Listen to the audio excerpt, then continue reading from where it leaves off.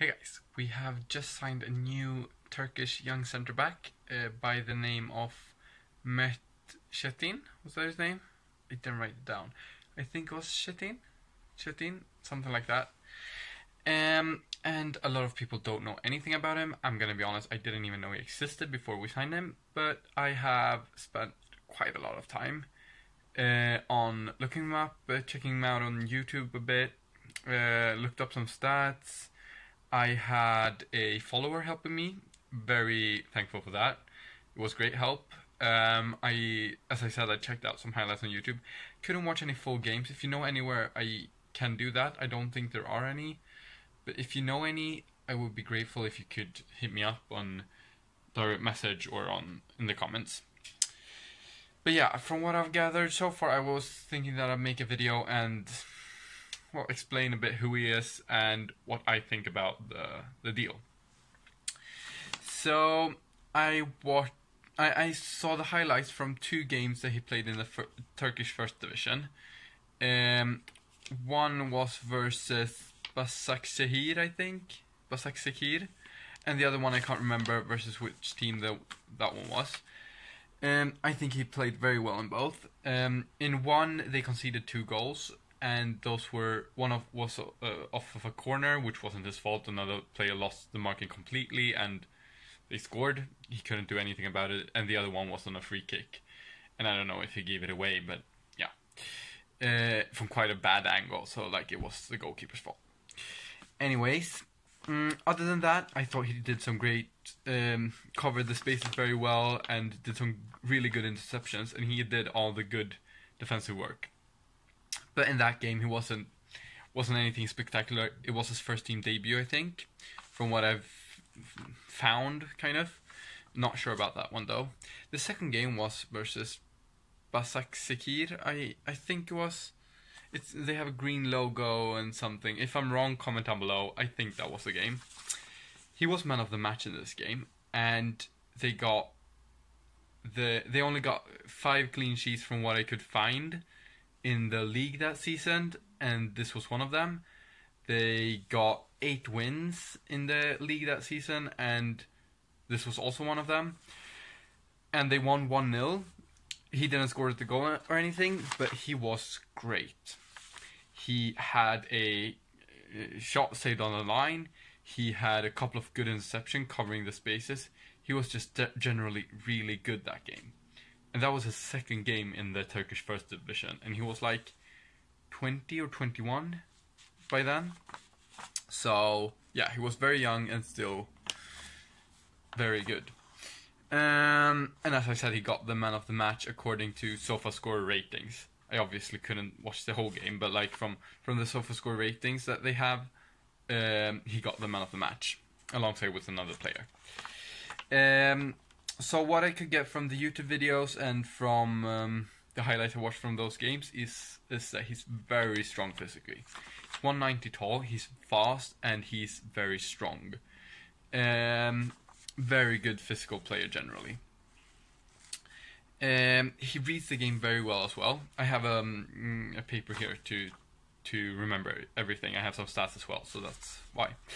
Um, he reads the game very well, and he covers up the spaces in behind the backline so well. Kind of like a Van Dijk type of player, I think he is. Obviously not as good, but like that that kind of player, I think. Even a Manolas. Um, he he runs in behind at the right time and like keeps the offside line, but still covers so that they don't get tr- through. And um, yeah, have saved a lot of possible opportunities that way. I think.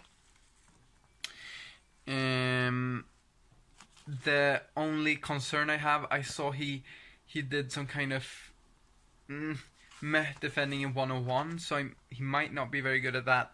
Not sure, but I only saw him in two one on ones, and one of them he still got the ball, but it was like better player probably could have gotten past him. I think. Um, other than that, I don't have any. I haven't seen anything bad from him. Uh, some Turkish giants want, wanted him. I think Galatasaray, Fenerbahce. Can't remember if it was Besiktas or it was some some other team. But I, I know there were like two or three Turkish giants. Uh, I I know for sure Fenerbahce and Galatasaray and I mean, if they want him, they obviously saw some potential in, in him. He's considered as one of the brightest center back prospects in Turkey at the moment, I think. So he is held very, very good uh, regard, I think you say, um, in his homeland. We only pay, paid three and a half million, so I think it's worth a gamble. Because either he explodes and becomes like the next big thing, kind of like Manolas, or he won't become anything great, but I think we can still get the money back. Um, if if he wouldn't be as great as we thought we, he would. And even if we lose a couple of million, like one or two million, I think we can lose max on this deal. I don't think it's a big problem. We have that kind of money. So I definitely think it's worth a gamble. Um, he he has been at his club. I think it's called Genserbirgli, Genserbirgli, something like that. I can't pronounce it. I'll call it Genser. Um, and he he has been there quite a long time, but he didn't start until last this season, and he came in and saved uh, a struggling uh, Genser side. Uh, they weren't like relegation, I don't think, but they were kind of struggling, weren't performing very well. Um, and they were kind of known to be very vulnerable defensively. Um, and yeah, he has played 23 games this season and only let in more than one goal four times and kept 14 clean sheets. So, only four times they've let in more than one goal when he's played. And, well, he's kept 14 clean sheets in 23 games, which means he only conceded in nine of his games that he played. That's very good, especially considering that they were quite vulnerable defensively, like a bad defensive side.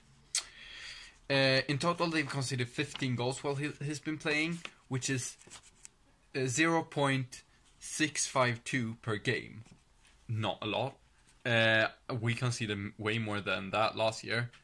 Uh, obviously, he won't come in and be a starter. He will probably maybe play the Europa League games, maybe play some cup games or some games versus like Lecce and sites like that. No disrespect, but like I think those are the kind kind of games that he will will play if he would if he would have played every game and kept this rate up eh, of uh, 0.652 per game, they would have been shared best defense in the league with 22 goals conceded in 34 games. Uh, in the games he didn't play, uh, there were 11 of them in the league, and they conceded 13 goals in those 11 games, which is 1.18 per game quite a lot higher from 0.652.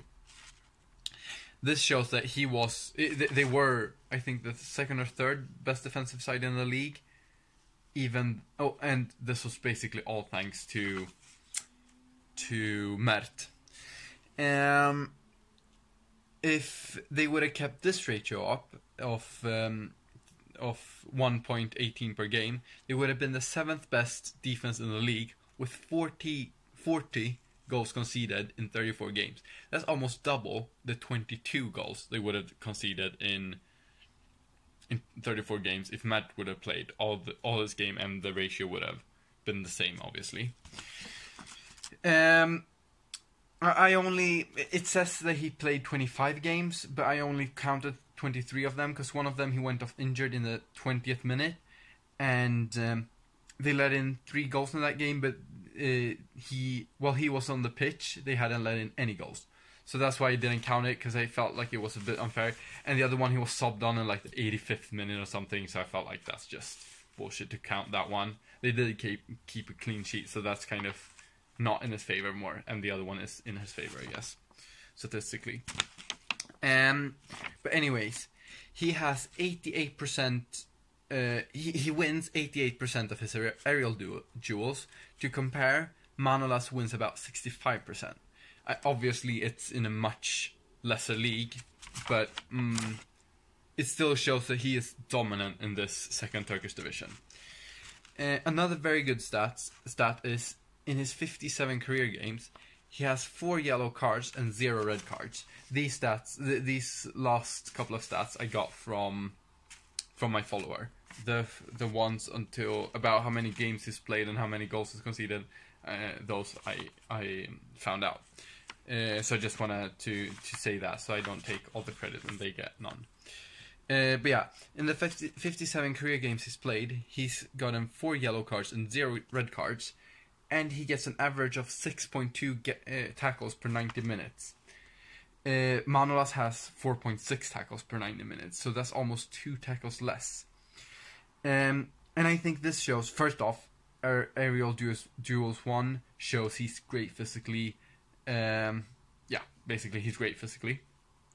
Um, the four yellow cards and zero red cards in 57 games is not a lot, and considering he gets 6.2 tackles in per game, means he tackles quite a lot, and I'm guessing that means he is quite successful in his tackle. So that contradicts the thing I said that I was um, scared of him being bad in one on ones. Maybe he is really good in one on ones. Just the um, the highlights I saw were like he was the kind of half mistake there.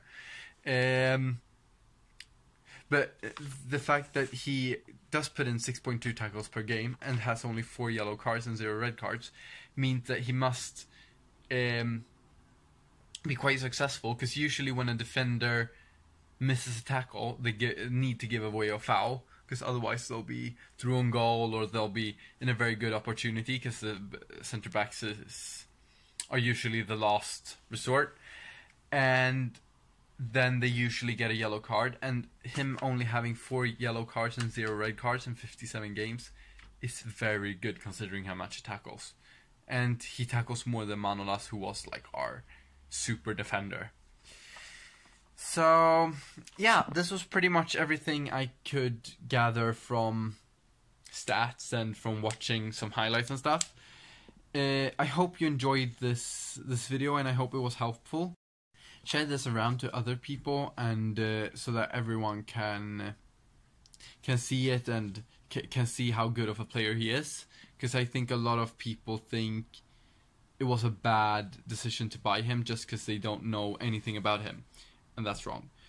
Um so yeah I, I don't know. He might be a super flop. He might not be good at all. Uh, but from seeing all these stats and all this I am quite hopeful. Uh, he seems like a very good player. He is very highly regarded in in Turkey, and I hope Cengiz Under can help him to integrate into the team and to get along. And I hope we can see him in a couple of of games early on in the Europa League, in the Cup maybe, but that's a bit later. But maybe in the league even. And um, yeah, I'm very excited for this young-looking Roma team.